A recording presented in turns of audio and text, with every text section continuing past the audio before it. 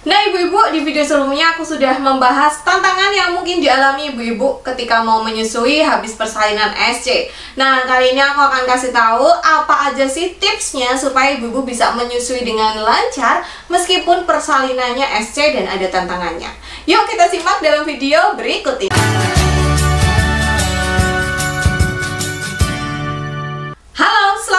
datang di Kriwil Life Ngobrolin kesehatan bareng aku, Bidan Kriwil. Hari ini aku akan kasih tips menyusui setelah persalinan SC Buat kalian yang belum nonton tantangan apa saja yang mungkin terjadi kalau misalnya kalian menyusui pasca SC Silahkan kalian klik aja link yang ada di atas sini dan meluncur ke videonya.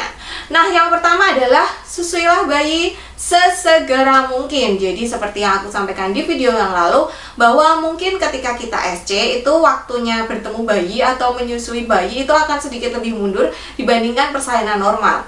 Nah, meski begitu, ketika bayinya udah dikasihkan ke kita, maka sesegeralah mungkin untuk menyusui. Jadi jangan ditunda-tunda lagi karena waktunya memang sudah tertunda, jangan bawa panjangin lagi. Jadi segeralah menyusu as soon as possible. Pokoknya sesegera mungkin, secepat mungkin segera susui bayimu supaya asimu itu tidak terlambat. Tips yang kedua adalah mintalah bantuan untuk memposisikan bayi. Jadi mungkin pada beberapa ibu pos SC itu kan tidak langsung boleh duduk gitu ya ya. Kadang-kadang mungkin menyusuinya sambil side lying atau sambil miring atau mungkin sambil tiduran terlentang atau mungkin setengah duduk gitu ya. Jadi ibu-ibu sebaiknya memang meminta bantuan orang lain mungkin penunggu pasangan atau susternya gitu untuk membantu memposisikan bayi. Karena kadang-kadang kita pos SC apalagi ini anak pertama masih kaku gitu ya megang bayinya mana mungkin ada luka SC nya jadi tidak optimal untuk memegang bayi sehingga kita bisa meminta bantuan orang lain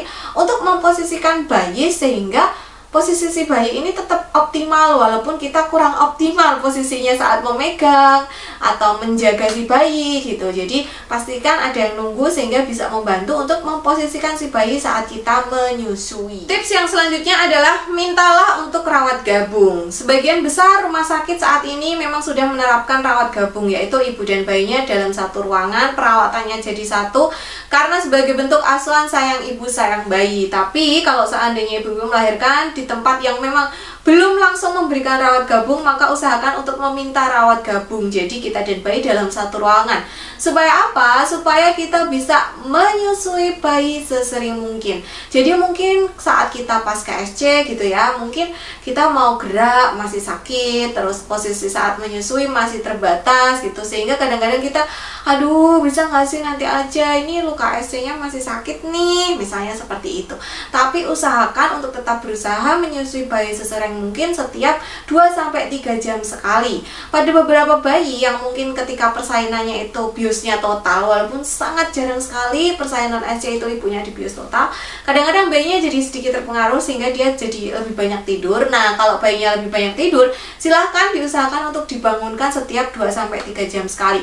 Tentu membangunkannya jangan diguncang-guncang gitu ya apa jangan dikaget-kagetin tapi bisa dielus-elus kakinya digoyang-goyangkan sedikit atau dikitik-kitik kadang-kadang kadang bangun. Jadi kita perlu aware untuk menyusui sesering mungkin dan juga membangunkan bayi kalau misalnya bayinya ini tidur terus. Nah, kalau seandainya ibu-ibu tidak bisa rawat gabung dengan bayinya karena satu dan lain hal, misalnya karena ada masalah medis gitu ya, sehingga akhirnya dipisah, maka usahakan untuk memerah ASI, baik itu memerah dengan tangan maupun dengan breast pump. Walaupun ASInya belum keluar, tetap usahakan untuk diperah. Ini untuk merangsang supaya ASI kita itu terus keluar gitu loh Bu. Jadi walaupun nggak keluar, bayinya nggak ada, mau nyusuin siapa gitu ya, tetap usahakan untuk memerah ASI. Supaya nanti ketika bayinya sudah sehat atau kitanya sudah sehat dan bisa bertemu atau rawat gabung dengan bayinya itu ASINya itu sudah banyak gitu. Jadi manfaatkanlah hari-hari pertama ini untuk merangsang keluarnya ASI. Kalau nggak bisa menyusui langsung silahkan diperah atau dipompa setiap 2 sampai 3 jam sekali. Bagaimana caranya memerah dengan tangan? Kalau misalnya nggak punya pompa atau beli pompa tenang saja. Aku sudah pernah bikin videonya plus ada video bagaimana cara pijat payudara. Silahkan dipraktekkan ya. Yang selanjutnya adalah konsumsi obat yang diberikan oleh dokter. Jadi biasanya setelah SC itu dokter akan kasih ada antibiotik, ada anti nyeri, ada suplemen gitu ya. Nah silahkan dikonsumsi, tidak usah takut obatnya akan mempengaruhi ASI karena tentu dokter akan ngasih obat ya yang tidak apa-apa kalau misalnya obatnya itu masuk ke dalam ASI.